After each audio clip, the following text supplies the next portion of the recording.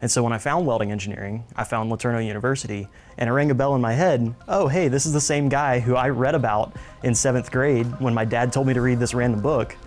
I'm gonna go check it out. And I did, and I came here and I visited, and I basically fell in love with the school the first time I set foot on campus. But honestly, as soon as I stepped onto LeTourneau's campus, I just felt like this is where I was supposed to be.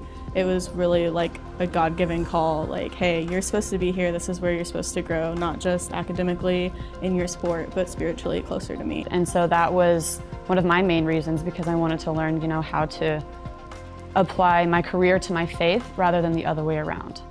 There are a lot of Christian universities, but they're primarily liberal arts universities.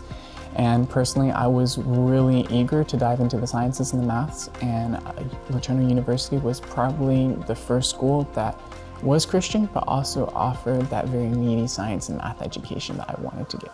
It's a very hands-on learning experience, lots of testing, lots of labs, and I think that that makes you a better engineer because you don't know, you're not studying just the theoretical and, and book knowledge, you also have the applicable knowledge, even if you're not necessarily going to be the one building things or testing things, you have that unique perspective to make you a better engineer. I can uh, go to the professor and uh, ask him certain questions and he'll uh, help me understand. Um, and it seems like they're, they're willing to and they want to see me succeed. So um, they will like adjust certain things, help me understand in different ways, and give me maybe even a different material so that it will help me understand. And that's something that's really special.